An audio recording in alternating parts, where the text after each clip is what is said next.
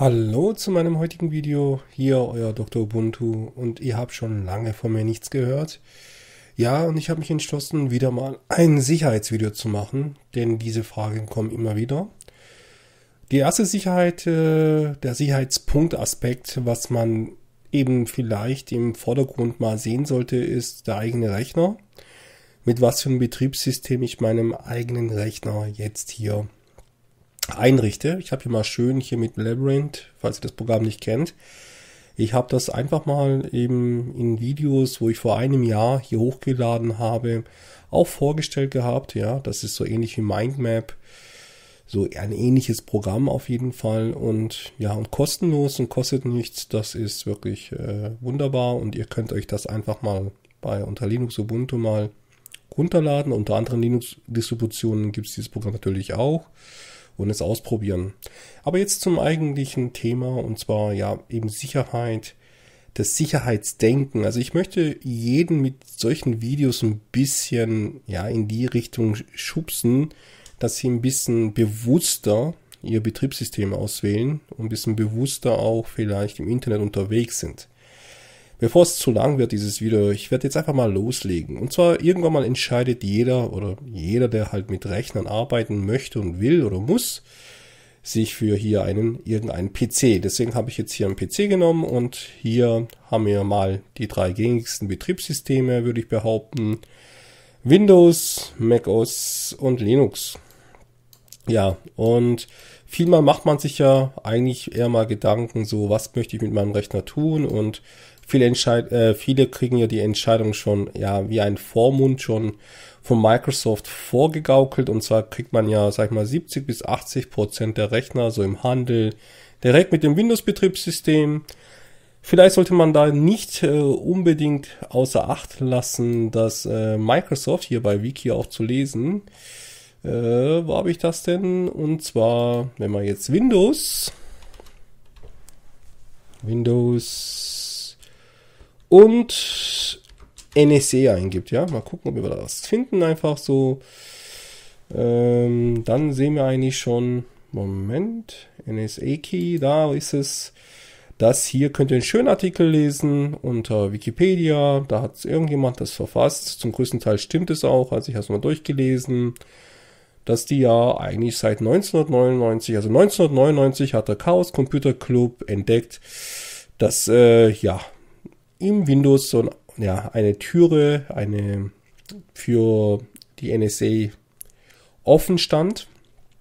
Also das heißt, dass äh, die NSA-Mitarbeiter eigentlich auf unseren Windows-Betriebssystemen mal reinschauen konnten, uns ein bisschen dokumentieren, was wir tun, einfach mal scannen und wenn wir was Auffälliges getan haben, konnten die das protokollieren. Ja, und das ist nicht übertrieben gesagt, sie konnten sogar mehr machen.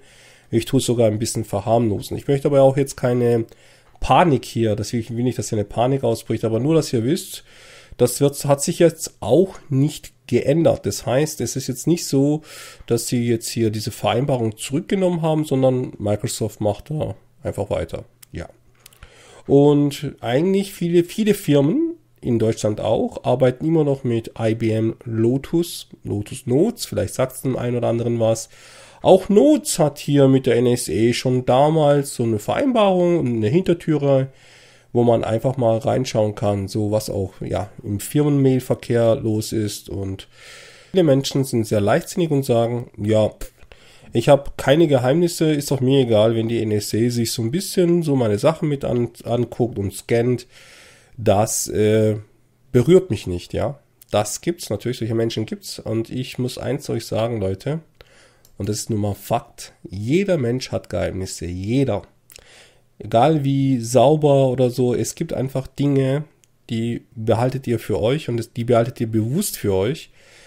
Sei es Beziehungssachen, sei es geschäftliche Sachen. Jeder Mensch hat Geheimnisse. Auch wenn du denkst, du hättest keine. Es ist nun mal so. Und das sollten jedem klar sein. Und es wollte auch so sein, dass jeder bemüht ist, vielleicht seine Daten für sich zu behalten. Natürlich gibt man dann ein bisschen Lebenskomfort von sich. Man kann zum Beispiel keine YouTube-Videos vielleicht hochladen oder kann sich im Internet nicht outen. Das muss jedem be bewusst sein. Ich tue es, ja, aber mit voller Bewusstsein, dass ich total gläsern bin, dass man total weiß, wer ich bin, was ich tue. Und vielleicht ist das ein oder andere Geheimnis, was ich denke, was noch mein Geheimnis ist, gar nicht mehr mein Geheimnis. Ich hoffe, das war jetzt nicht kompliziert ausgedrückt, aber ihr versteht hoffentlich, was ich damit sagen möchte. Gehen wir jetzt doch mal hier auf diesen Punkt hier, wie ihr sehen könnt. Ja, PC, Windows, Mac OS, Linux. Warum ihr euch trotzdem für Linux entscheiden solltet, ist einfach, weil Linux hat mit der NSA keine Vereinbarung. Apple hat sie auch, Windows hat sie auch. Apple weigert sich das zuzugeben, aber Leute, amerikanisches, äh, eine amerikanische Firma, NSA, Windows, Microsoft, die zwei, wenn die nicht mitmachen, ha, was glaube ich dann denn noch? Aber Linux könnte natürlich auch sein, dass da der ein oder andere Programmierer hier eine Hintertüre ins äh, programmiert. Das Gute aber an der ganzen Geschichte ist, dass der Quellcode von diesem Betriebssystem offen steht. Das heißt, es gibt sehr viele freie Programmierer, die sich diesen Quellcode anschauen. Bei diesen beiden Betriebssystemen ist das nicht so einfach. Ich will jetzt auch nicht tiefer eingehen in dieses Thema, sonst wird das Video überlang. Wir können gerne diskutieren, wenn ihr unter diesem Video Kommentare schreibt. Jetzt werde ich mal ein bisschen rauszoomen hier. Und ich habe ein bisschen Vorarbeit geleistet, Leute. Und möchte jetzt einfach mal hier noch auf diese Punkte eingehen. Denn damit hat sich ja nicht erledigt, weil viele sind in diesem Bereich sehr, sehr, ja, sagen wir, fit oder machen sich sehr große Gedanken. Doch die eigentliche Gefahr ist nicht nur das Betriebssystem, sondern in dem Moment, wo ihr das Netzwerkkabel einstöpselt oder eine WLAN-Verbindung mit eurem Rechner, Smartphone oder alles, was eben netzwerkfähig ist, ja, das kann auch mittlerweile ja, ein ganz normaler Sensor sein, der eure Wohnungstemperatur zum Beispiel regelt. Ja, sobald hier eine Internetverbindung ist, stehen alle Türen offen. Das heißt, selbst wenn hier ein Antivirusprogramm installiert ist und ihr alles verschlüsselt und macht und tut, habt seid ihr auf dieser Ebene vielleicht sicher, aber auf dieser Ebene sieht es dann wieder ganz anders aus. Wenn ihr hier unterwegs seid, diverse Maildienste benutzt, wie zum Beispiel GMX, Freenet, Web.de und all wie die auch heißen und dann eben einen Cloud-Speicher habt bei Dropbox oder, äh, oder Amazon oder andere Anbieter, gibt es ja mittlerweile eben die iCloud von Apple, die OneDrive von Microsoft, also mir fallen da brutal viele ein, da gibt es ja schon noch einige, ja, oder Online-Geschäfte tätigt, eBay ist das beste Beispiel, eBay Kleinanzeige, alles drum und dran. Hier unterwegs, Leute, sind eure Daten für einen, sage ich mal, durchschnittlichen guten Hacker immer greifbar. Deswegen immer überlegen, was, welche Dienste hier brauche ich wirklich. Hier habe ich einen Bereich gemacht, da heißt Server. Und zwar, ja, YouTube-Server ähm, oder andere diverse, äh, Netflix oder sowas. Das sind ja auch, da hinterlasst ihr auch Daten, Spuren. Ihr hinterlasst vielleicht einfach mal ähm, ein paar Kontodaten, weil ihr einfach möchtet, dass da etwas abgebucht wird, sei es jetzt auf den Servern von Amazon oder diverse andere Dinge. Da sind auch, äh, das sind auch Rechner, die vernetzt sind und da liegen irgendwo in, in, in einer, ja, auf dem Speicher hier liegen irgendwo eure Daten, die natürlich von außen angreifbar sind, egal wie gut die geschützt sind und ja, irg irgendwann mal Leute bekommen, ja, die unangenehm sind und einfach mit euren Daten Dinge tun können, die vielleicht eben für euch nicht so toll sind. Das heißt, Leute, die Sicherheit im Internet, das sollte euch interessieren. Ihr solltet euch über Mailverschlüsselung Gedanken machen. Ihr solltet euch über Gedanken machen, wo hinterlasst ihr eigentlich eure Bankdaten oder PayPal-Daten oder irgendetwas. Wo hinterlasst ihr das alles? Wer soll das alles wissen? Wechselt ihr regelmäßig eure Passwörter? Mailverschlüsselung, habe ich gerade eben gesagt, sollte unbedingt wichtig sein. Verschlüsselung auf dem heimischen Rechner ist wichtig. USB-Datenträger sollten verschlüsselt werden. Das ist wichtig, finde ich.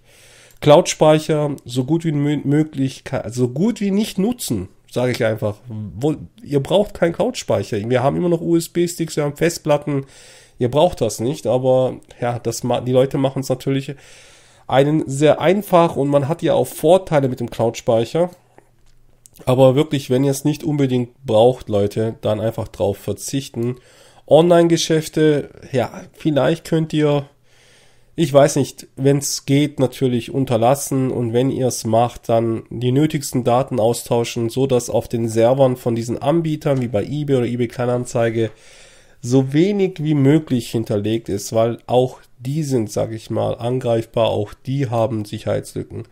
Und natürlich Kommunikation mit anderen PCs, ja, wenn ihr zum Beispiel übers Internet, ja, mit anderen Leuten Skype oder alles drum und dran, das alles ist natürlich hier, sobald es im Internet ist, für eine zweite oder dritte Person, ja, hackbar, erreichbar und da solltet ihr wirklich sehr, sehr vorsichtig mit euren Daten umgehen. Ihr solltet alle Sicherheitsmechanismen, die euch bekannt sind, nutzen und ihr solltet euch im Thema Sicherheit wirklich, wirklich Leute fitter machen. Denn äh, die Cyberkriminalität, die nimmt wirklich von Tag zu Tag, von Monat zu Monat, von Jahr zu Jahr enorm zu. Und da solltet ihr wirklich euch ein bisschen informieren und ja, einfach bereit sein für alle Fälle. Wenn ihr möchtet, können wir natürlich gerne diskutieren. Ich kann gerne zum Thema Sicherheit einige Videos machen. Natürlich müssen wir da kommunizieren. Ich warte auf eure Fragen. Ich mache jetzt mal Schluss. Ich bin raus. Euer Dr. Ubuntu.